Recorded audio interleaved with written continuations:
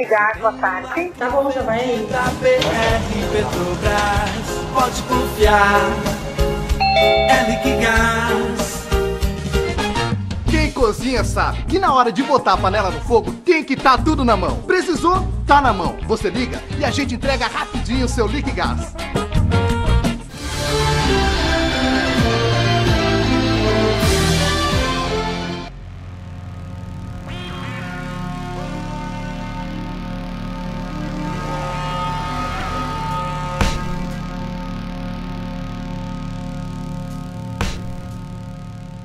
Conversando então com o Leonardo Petri, vereador daqui de Tapes. Leonardo, uh, quem é que o senhor vai apoiar agora para presidente nessa candidatura, candidatura agora de 2018? Inicialmente eu saúdo a Lagoa TV pela qualidade das suas matérias, a busca dos interesses que são pertinentes à cidade, ao Estado e à nação, à população em geral. E nós temos aí cada vez mais próximo aí o pleito da majoritária que se avizinha para o mês de outubro e talvez um segundo turno logo adiante.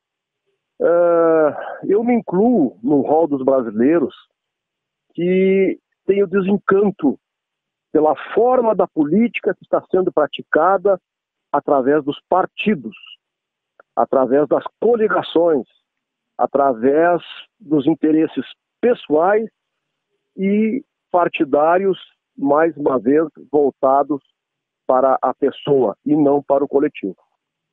Nós temos aí uma gama de coligações, temos um número de candidatos que é expressivo, temos alguns que têm uma tradição maior dentro de partidos maiores, que se coligaram com partidos maiores também, por minutos de exposição e, e de, e de tempo de rádio e televisão para expor as suas plataformas, mas uh, não existe o idealismo verdadeiro político para a solução das questões dos brasileiros e dos gaúchos. Então, eu, sinceramente, na tua pergunta, e mais uma vez aqui eu quero louvar o, a, a, iniciativa da Lagoa TV, uh, eu digo que ainda não tenho né, a definição em qual o partido e qual o candidato que irei votar sei de certeza que em alguns eu não voto. Extrema esquerda, esquerda, pessoas de partidos ligados assim à, à linha anterior e essa atual, que é o Temer e o PT. Esses aí estão totalmente descartados. Estou analisando outros candidatos de outras tendências, mas sempre me bate, sempre me preocupa, sempre me, me, me entristece quando eu vejo que não existe um debate ideológico, existe um, de, um debate oportunista, muitas vezes demagogo e até enganoso. Eu, eu costumo usar uma frase: é discurso de candidato para o eleitor. Então, eu estou indefinido. Se nós tivéssemos aí as colunas, eu estaria na coluna da indefinição.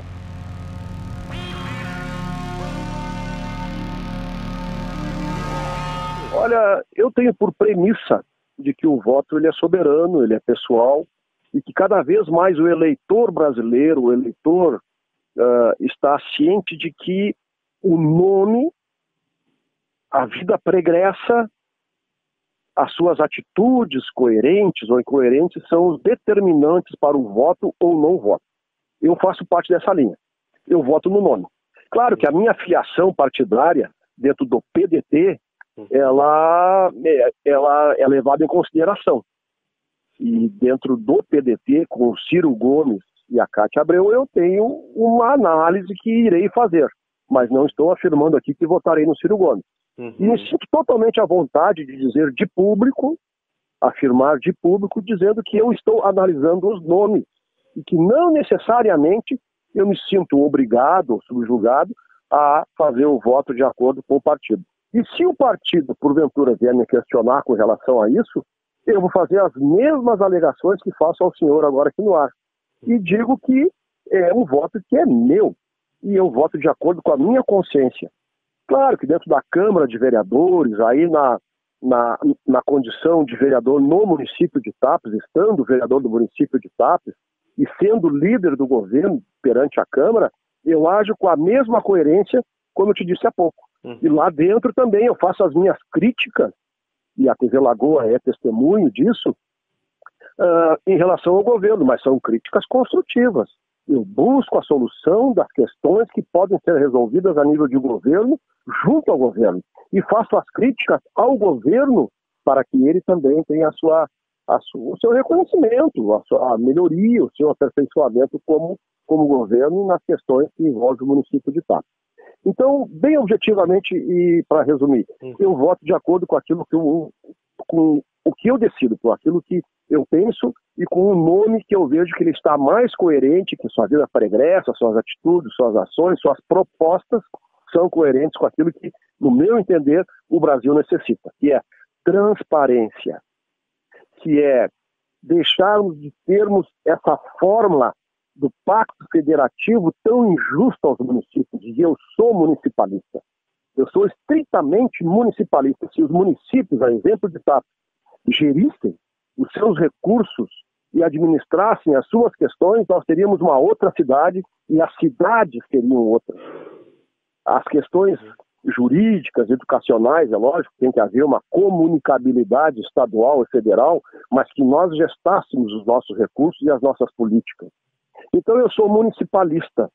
Eu sou contra esse pacto federativo tão injusto na questão política e tributária. Também eles são usurpadores, se locupletam da nossa, da nossa, do nosso recurso, da nossa saúde, da nossa uh, condição financeira de geradores e para sustentar Brasília e a esfera do Estado.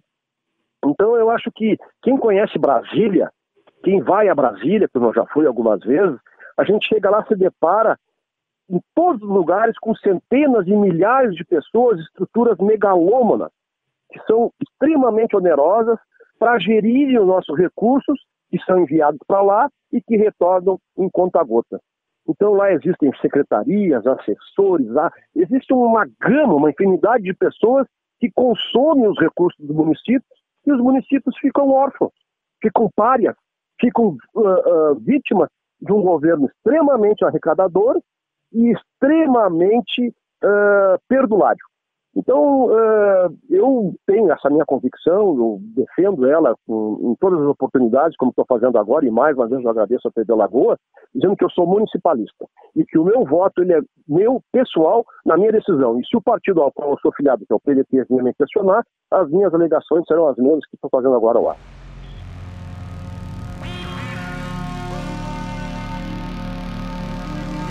Olha, eu acho que o voto em branco, assim como o voto nulo, o voto em branco ele é uma omissão. Aquele eleitor que opta por essa modalidade, ele ali adiante ele não vai poder, sabe, uh, levantar o braço e dizer que discorda ou que concorda, porque ele não exerceu o seu direito. Uhum. Ele até pode ser derrotado, ele até pode ter algum desencanto, ele pode até ter alguma frustração, mas ele exerceu o seu direito, ele exerceu o seu voto e o seu voto foi computado. Bueno, então ele pode reivindicar com a força de quem exerceu o direito ao voto.